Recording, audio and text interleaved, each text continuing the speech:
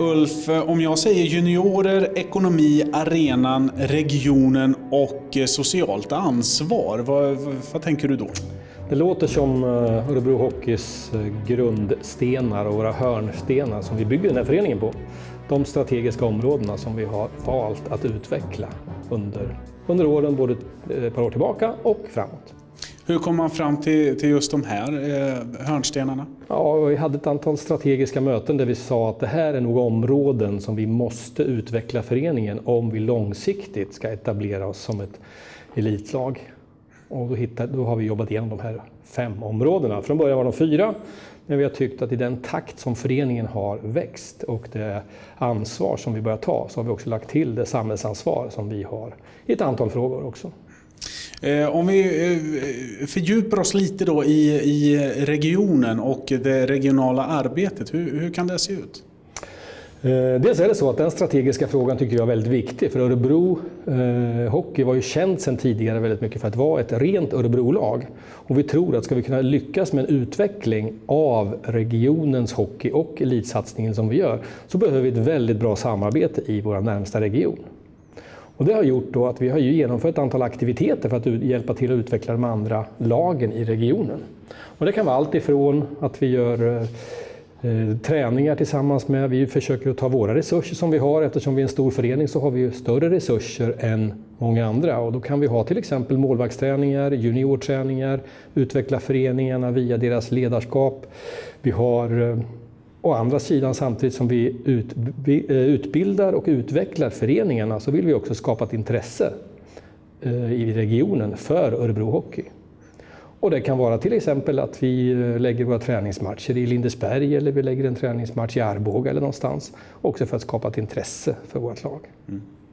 Eh, som nu i dagarna så är killarna eh, nere i Zinkgruvan, några utav, av killarna. De, eh, bland annat eh, till Åmmebergs skola och, och skriver autografer och sen så får de eh, besöka själva gruvan. Och sen så en invigning av en, av en frisbeegolfbana.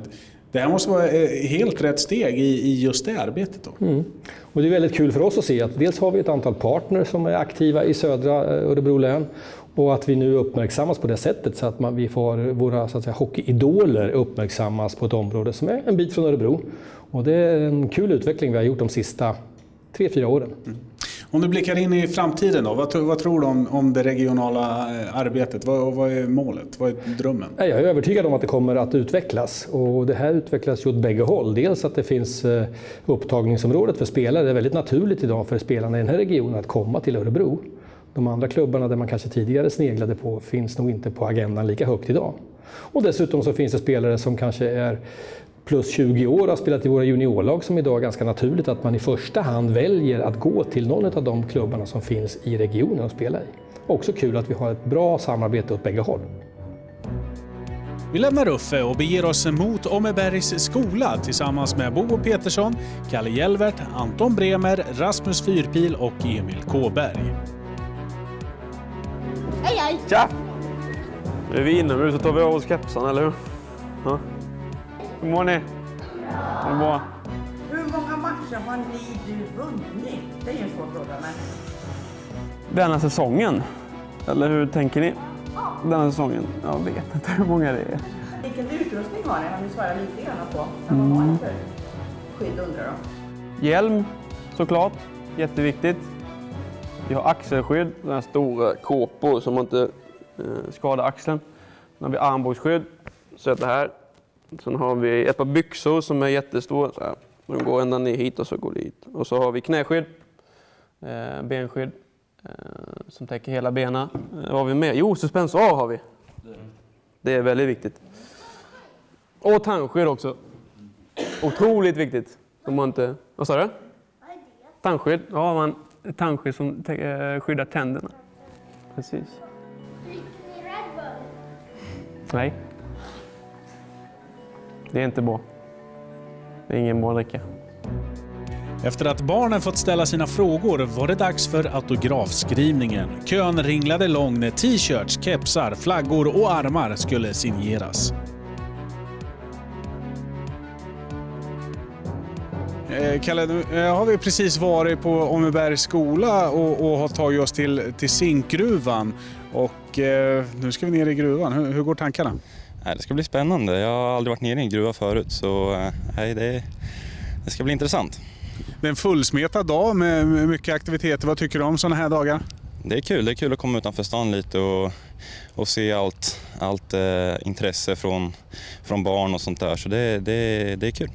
Åmmeberg och Zinkgruvan är det ställen du har varit på förut? Det är det verkligen inte. Inte zinkgruvan i alla fall. Men jag har varit i Åmmeberg lite och sånt där och varit ute på sjön. Men inte gruvan. Hur känns det att ha en trän träningsled idag? Ja, det får vi se. Vi kanske tränar när vi kommer tillbaks. Så träningen kommer man aldrig ifrån.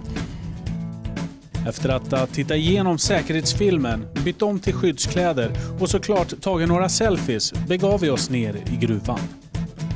Ja, vi åker ner i gruvan och kollar runt på riggar och olika gavlar.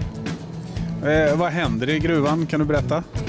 Ja, vi bryter zink och malm och bly, koppar, Hur många är ni som jobbar i, nere i gruvan?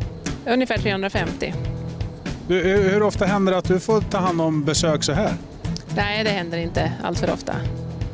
Då blir det ett litet avbrott ifrån ditt dagliga arbete då. Ja, precis. Det är roligt. Vad, vad tror du grabbarna kan för, förvänta sig då?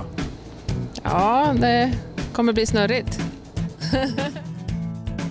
Våra guider Mimmi och Pernilla visar oss runt i gruvan på de olika nivåerna. Som lägst var vi nere på 1130 meters djup och där fick vi se när man höll på att borra för fullt.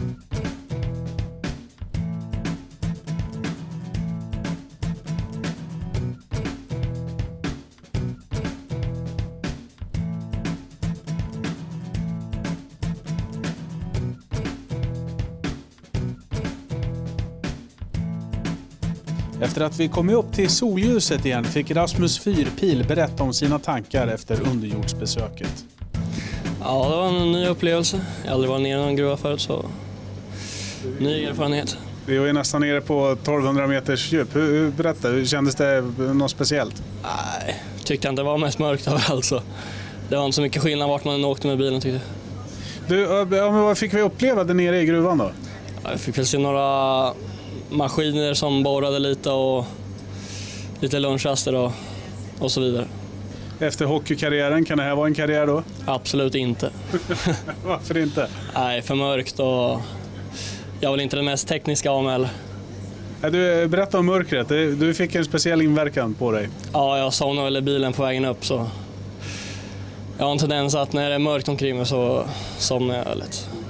Du, är det ett kul break det här ifrån försäsongsträningen? Ja, absolut. Det är ny erfarenhet. Nu ska vi iväg till frisbeegolfen. De ska inviga här i Zinkgruvan en frisbeegolf, eh, frisbeegolfbana. Vad är dina kunskaper på det? Jag var lirare någon gång med skolan och så, men det blev väl kul att piska upp grabbarna i det. Vi beger oss mot frisbeegolfbanan där Anton Bremer får berätta om sina kunskaper inom frisbeegolf. Nej, de är nog obefintliga. Eh, mitt enda hopp är väl på att alla är lika dåliga eller sämre. Så, så ska det nog kunna gå vägen. Vem sätter du som favorit eh, bland eh, dina motståndare? Ja, det är en ganska klen startrupp, men får väl säga Kåberg då. Du, dagen så här långt, vad tycker du om den? Nej, det har varit, eh, varit häftigt faktiskt. Det var något nytt att vara i gruvan. Eh, ja, det har varit roligt. Du, eh, vi drar igång. Eh, Hål 1, lycka till. Tack så mycket.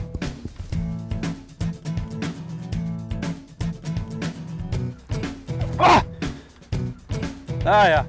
Kolla!